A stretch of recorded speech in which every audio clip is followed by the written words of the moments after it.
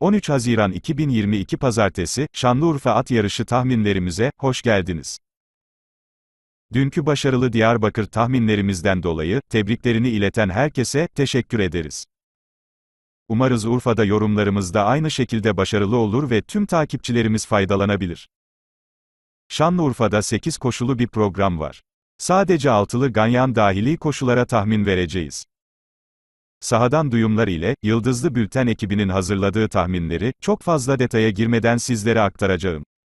Şimdi tahminlerimize geçelim. Birinci ayak.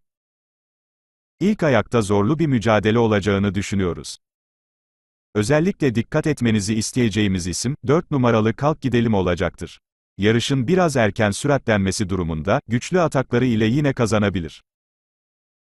3 numaralı Secret Soul ve 2 numaralı Kendine Gel, önde birbirlerini yıpratmazlarsa, aralarına at sokmadan yarışı bitirebilirler.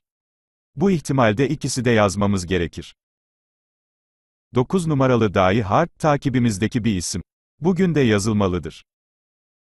11 numaralı Horoz Bey'i, 6 numaralı Hat Demirkır ve 1 numaralı King Hakan ise, daha sonra eklenebilecek şanslı isimlerdir. Bu koşudaki sıralamamız, 4, 3, 2, 9, 11, 6 ve 1 şeklindedir.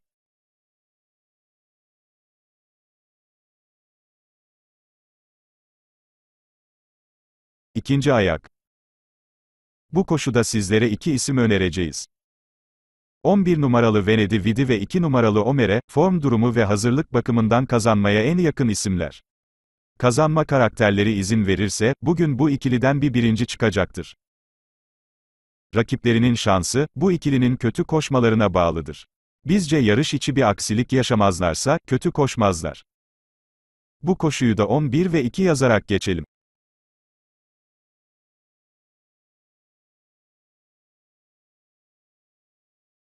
Üçüncü ayak.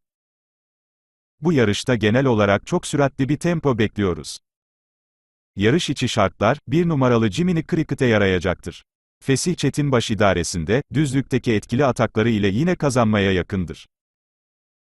İç kulvar avantajı olan 2 numaralı Angry Bull ise, iyi bir çıkışla liderliği alabilirse, kazanma şansını arttırabilir. Bu atların yanına, son işlerini çok beğendiğimiz 4 numaralı Gold Fist'i yazıp, bu ayağı geçelim. Rakamsal sıralamamız, 1, 2 ve 4 şeklindedir.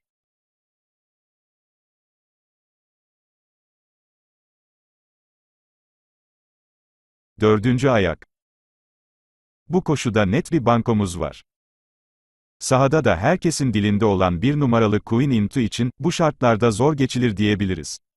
Mükemmel formu ile, hem cinsleri arasında bu koşuyu kazanacaktır. Günün sağlam bankosu olarak yazılabilir.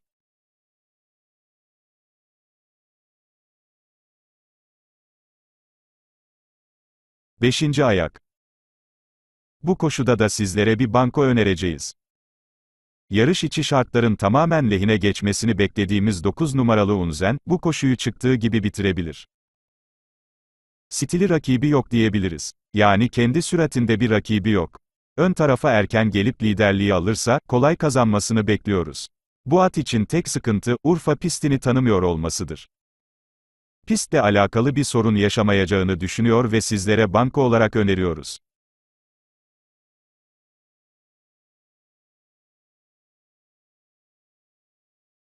Altıncı ayak. Günün en zor yarışı burası olacaktır. Bizim yerimiz olduğu için, bu koşuyu net olarak kapatacağız. Bu koşu ile alakalı önerilen bir isim olmadığı için, sıralama önermeyeceğiz. Çıkardığınız attan yatma ihtimaliniz olabilir. Bu sebeple bütçelerinizi bu koşuya göre ayarlamanızı önerebiliriz. Biz günün son ayağını hepsi işaretleyerek kapatıyoruz. Şanlıurfa yorumlarımız bu kadar. Şanlıurfa tahminlerimizi olumlu buluyorsanız, Doğu illerindeki tahminlerimizin devamı için, videomuzu beğenip, kanalımızı takip ediniz. Herkese bol şans dileriz. İyi akşamlar.